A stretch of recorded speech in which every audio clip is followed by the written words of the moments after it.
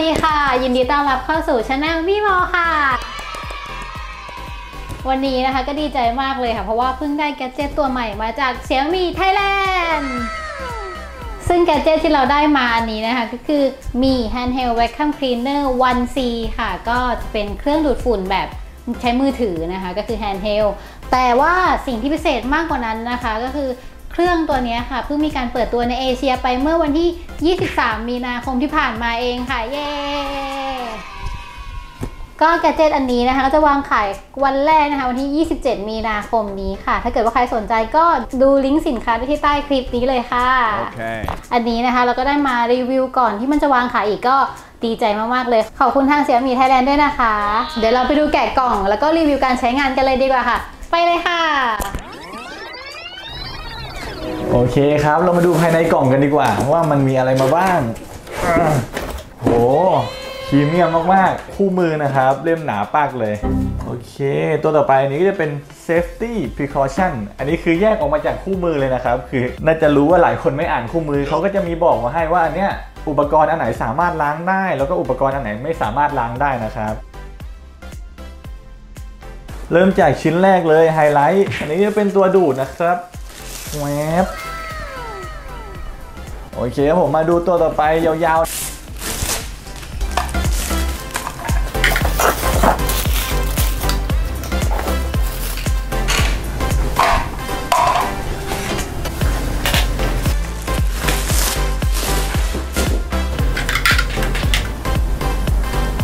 โอเคครับผมอันนี้ก็เป็นอุปกรณ์ทั้งหมดภายในกล่องเลยนะครับ เดี๋ยวเรามาซูมดูใกล้ๆทีละตัวกันเลยดีกว่า ว่าแต่ละอย่างเนี่ยมันคืออะไรบ้างมา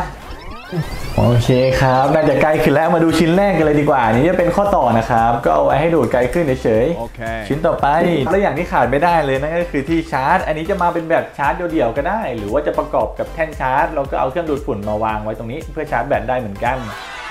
เรามาดูตัวไฮไลท์ของเราเลยดีกว่า นั่นก็คือหัวดูดฝุ่นนะครับผมนี่คือแบบ ทรงแล้วก็สีมินิมอลมากๆเลย อันนี้จะเป็นอยู่ที่ระดับหนึ่งนะครับเราก็สามารถเปลี่ยนระดับความแรงในการดูดตรงนี้ได้เลยอันนี้ 1 2 แล้วก็ 3 เดี๋ยวมาฟังเสียงระดับ 3 ก่อนดีกว่า อันนี้คือระดับ อันนี้คือระดับ 3 นะครับ ระดับ 2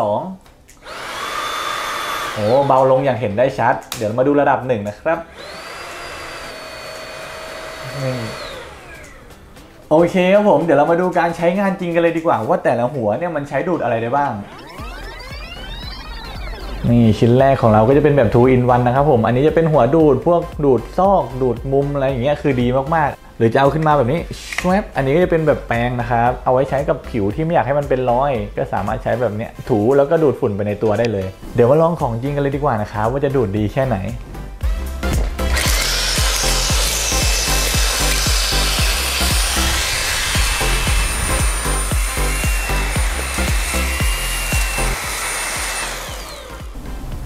โอเคครับผมมาถึงหัวที่ 2 ของเรากันแล้วอันนี้จะเป็นหัวดูดไรฝุ่นหรือว่ากำจัดเศษฝุ่นผงอันเล็กๆที่อยู่บนเตียงหรือโซฟาของเรานะครับโอเคก็จะเหมือนกับเครื่องดูดไรฝุ่นเลย ก็จะมีหัวประมาณนี้ นี่สามารถโยกได้ แล้วก็การทำความสะอาดเนี่ยง่ายมากๆ เอาเหรียญอะไรก็ได้หมุนปลดล็อกตรงนี้ชึบเท่าเนี้ยตัวแปรงก็สามารถดันออกมาทำความสะอาดได้เลย ซึ่งตัวนี้ห้ามเอาไปล้างน้ำหรือไปโดนน้ำนะครับ มันจะมีขั้วแม่เหล็กอยู่ตรงนี้ 2 อัน การทำความสะอาดก็ได้แค่ตัวนี้นะครับ เอาไปล้างน้ำได้เลยทิ้งไว้ให้แห้ง 24 ชั่วโมง แล้วการประกอบเนี่ยก็ง่ายมากๆดันกลับเข้าไปให้ตรงล็อกนี่เสร็จเรียบร้อย แล้วก็ใช้เหรียญล็อกชวบอันนี้ก็สามารถเอาไปใช้งานได้เลยนะครับผมไปดูการใช้งานจริงของเจ้าตัวนี้กันเลยดีกว่า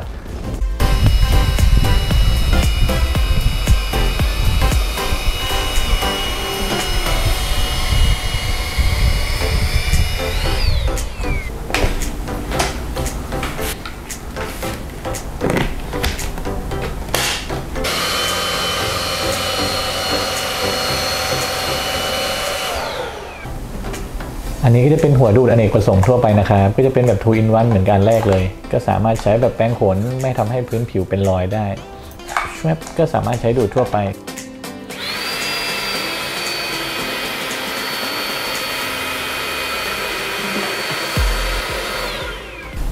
มาถึงไฮไลท์ของเราแล้วนี่อันนี้จะเป็นหัวใช้กับพวกพรมพื้นแข็งพื้นนุ่มนี้ได้หมดเลยนะครับ การเอาไปทำความสะอาดเนี่ยก็ง่ายมากๆกดล็อกตรงนี้ชวบ นี่ตัวล็อกก็จะออกขึ้นมา แล้วก็ดันตรงนี้ออกมาได้เลย การใส่กลับก็ง่ายมากๆเอา safety ขึ้นมาก่อน แล้วก็ดันลงไปอ้าวผิดด้านแล้วก็ดันลงไปแบบนี้กดลงไปกดล็อกง่ายมากๆเรียบร้อย เดี๋ยวเราไปดูการใช้งานจริงของตัวนี้กันเลยดีกว่านะครับ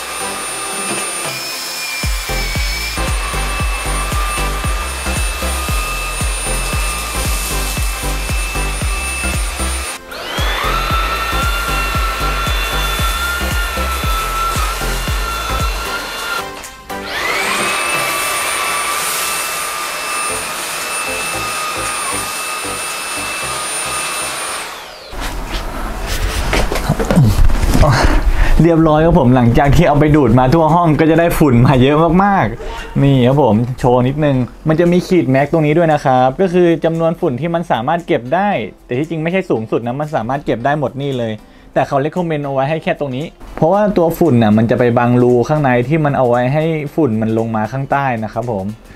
โอเค เรามาดูวิธีการถอดทำความสะอาดกันดีกว่าฝุ่นเยอะมากไม่ไรผมเตรียมไว้แล้ว น่าจะมีหกบ้างเล็กน้อย อันนี้จะเป็นปุ่มรูปถังขยะนะครับ สามารถกดตรงนี้ไอ้ตรงเนี้ยมันก็จะล่วงลงมาเลย Okay. ง่ายมากๆฟุ้งแน่ๆ เดี๋ยวผมขอเทต่ำๆนะครับ อาจจะไม่เห็นเท่าไหร่แวบนี่เรียบร้อย พวกผมนี่ก็ต้องเอามือหยิบออกมาหน่อยนะครับ แล้วก็ตัวไซโคนเนี่ยสามารถเอาออกมาทำความสะอาดได้เลย ก็แค่บิดชึบนี่อันนี้ก็เรียบร้อยแล้วนะครับ ตัวไซโคนนี้ก็เอาไปล้างน้ำทำความสะอาดได้นะครับผม อันนี้ไม่เป็นไร Okay. ก็เอาไปจุ่มน้ำได้เลย ใส่กลับคืนไปก็ง่ายมากๆ แล้วก็หมุนเรียบร้อยปิดใช่ไหมเดี๋ยวขอเอาตรงนี้ไปเก็บก่อนฝุ่นเยอะมากโอเคๆแล้วก็อันสุดท้ายนะครับมันจะเป็นฮีป้าไส้กรองข้างบนเลย ก็คือเวลาดูดลมเข้ามา มันก็จะมีลมร้อนออกตรงนี้ใช่ไหมแล้วไอ้ตัวเนี้ยมันจะเป็นตัวกรองไม่ให้มีฝุ่นอะไรพวกนี้ออกมาเลยนะครับ วิธีการทำความสะอาดก็ง่ายมากๆหมุนตัวนี้ชึบนี่ก็จะหลุดออกมาแล้ว ซึ่งตัวนี้ก็สามารถเอาไปล้างน้ำทำความสะอาดได้นะครับผมไอตัวสปอนจ์ข้างในก็เอาออกมาได้ก่อนจะทำความสะอาด วิธีเก็บก็ง่ายมากๆ ก็ใส่ลงไปหมุนชวบเรียบร้อย ดูเหมือนหลายขั้นตอนใช่ไหมแต่ที่จริงมันง่ายมากๆ เดี๋ยวขอเอาออกมาให้หมดก่อนไม่วยชวบมานี่แถมหัวไปด้วย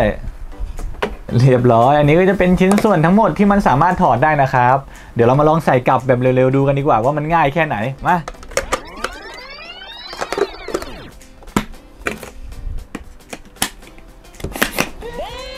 นี่